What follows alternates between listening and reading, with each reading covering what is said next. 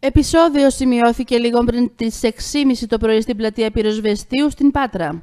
Ειδοποιήθηκε το ΕΚΑΦ να μεταβεί στην πλατεία και να παραλάβει δύο ανήλικα ηλικίας 14 και 15 ετών που είχαν τραυματιστεί από αιχμηρό αντικείμενο και μοραγούσαν. Στο σημείο έσπευσε και η αστυνομία προκειμένου να διαπιστώσει τι είχε συμβεί. Άγνωστη παραμένει η αιτία του αιματήρου επεισοδίου με τα ανήλικα.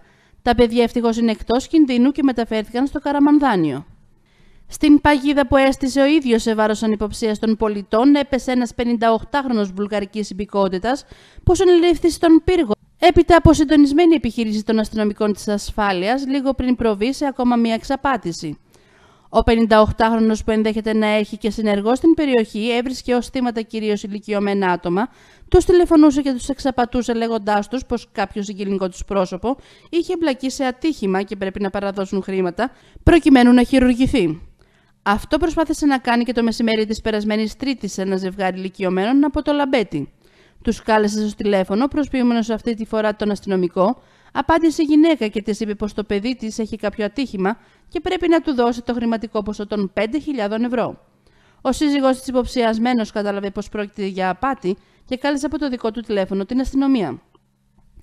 Στο μεταξύ, πριν τα χτυπήματα στην Ηλία, είχε εξαπατήσει πολίτες και στην Αχαία σε δύο περιπτώσεις.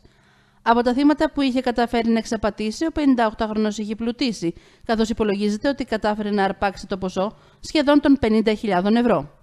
Το μεσημέρι της περασμένης Τετάρτης οδηγήθηκε στην εισαγγελέα πρωτοδικών Ηλίας, όπου με εντολή της αφέθηκε ελεύθερος.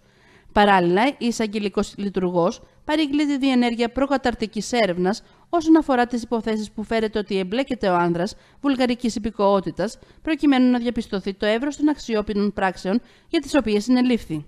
Συνελήφθη χθες το μεσημέρι στην Πάτρα από αστυνομικούς της ομάδας Δίας του Τμήματος Άμεσης Δράσης Πατρών, ένας αλλοδαπό άνδρας, διότι σε αστυνομικό έλεγχο που του διενεργήθηκε, βρέθηκε στην κατοχή του και κατασχέθηκαν δύο κινητά τηλέφωνα για τα οποία είχε δηλωθεί κλοπή στην Υποδιεύθυνση Ασφαλείας Πατρών. Μία νέα πίστευτη ιστορία ενδοοικογενειακής βίας έρχεται να προσθεθεί στο μακρύ κατάλογο των αμέτρητων πια περιστατικών, αυτή τη φορά από το χωριό της Κρέστενας και πρωταγωνιστές ένα ηλικιωμένο ανδρόγυνο.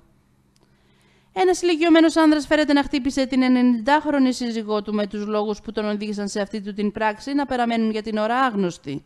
Η 90χρονη γυναίκα βρήκε τη δύναμη και ειδοποίησε τις αρχές με τους αστυνομικούς να πηγαίνουν στο χωριό, προκειμένου να συλλάβουν στο πλαίσιο του αυτοφόρου τον σύζυγό της, ο οποίος ωστόσο κρυβόταν προκειμένου να γλιτώσει το κρατητήριο.